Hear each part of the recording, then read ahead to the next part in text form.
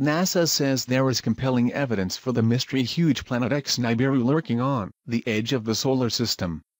The hypothetical Nibiru, also known as Planet X or Planet 9, appears to be so big, its gravitational force has knocked our solar system out of balance, scientists believe.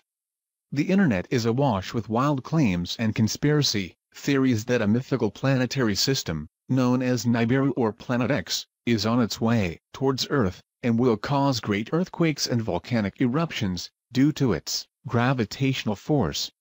Believers think that NASA's latest announcement is confirmation the terrible disaster will soon befall us. Nibiru, or Planet X as it is also known, is a theorized mini-solar system consisting on a sun and some planets and moons which is alleged to be lurking on the edge of our solar system with a 3,600-year orbit of the sun. The myth was born in 1976, when writer Zecharia Sitchin claimed that two ancient Middle Eastern cultures, the Babylonians and Sumerians, told of a giant planet, Nibiru, that orbited the sun every 3,600 years. However, despite believing there is a mystery planet, out there NASA maintains the Nibiru myth is a hoax, and the one in question will come nowhere near us.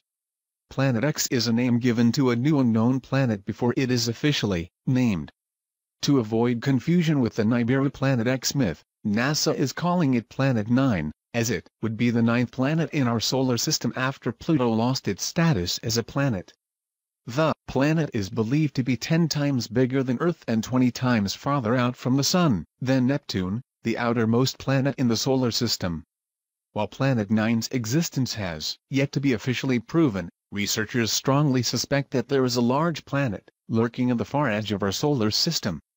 If the planet is there, then it could explain why the solar system is slightly off balance. In most star systems, the surrounding planets tend to rotate in line with their host. However, in ours, the planets are at an angle of 6 degrees off its axis.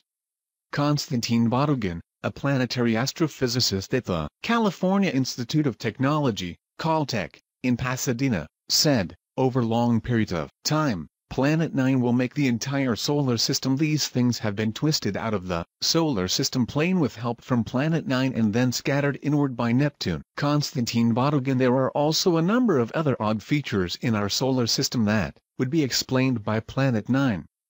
Dr. Batygin said, there are now five different lines of observational evidence pointing to the existence of Planet 9.